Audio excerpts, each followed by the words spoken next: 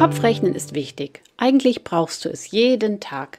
In diesem Video zeige ich dir fünf Übungen, mit denen du deine kopfrechnen Fähigkeiten ganz spielerisch trainieren kannst. Übung Nummer 1. Rechenkarten vorm Einschlafen lösen. Du stellst dir einfach eine ganze Reihe von Rechenkarten selber her.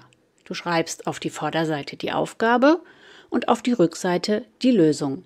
Und jetzt nimmst du dir vor, jeden Abend vielleicht 10 oder 20 dieser Karten anzusehen und so schnell wie möglich zu lösen. Du kannst ja immer mit der Rückseite überprüfen, ob du richtig gerechnet hast. Zweitens. Zerlege Zahlen. Bei Rechenaufgaben ist es ziemlich einfach, von links nach rechts zu rechnen und die ganze Aufgabe zu zerlegen. Also 63 plus 34, dann rechnest du erstmal 63 plus 30 und das Ergebnis dann nochmal plus die restlichen vier Einer. Drittens. Rechne so oft wie möglich im Kopf. Nutze jede Gelegenheit, die sich dir bietet und lass den Rechner im Handy einfach aus. Vielleicht beim Einkaufen. Überprüfe die Rechnung an der Kasse im Kopf. Viertens.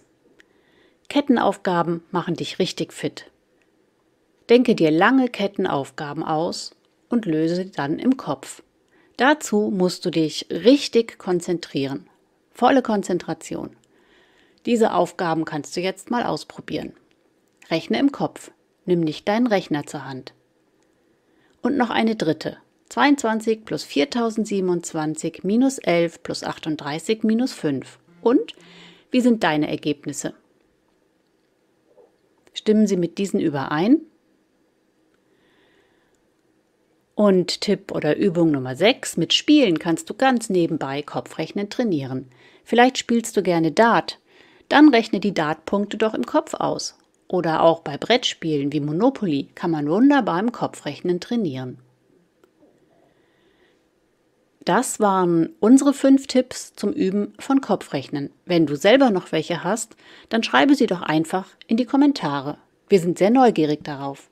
Dieses Video ist von lernförderung.de und wenn es dir gefallen hat, dann gib uns doch ein Like, abonniere unseren Kanal und teile das Video. Viel Spaß beim Kopfrechnen!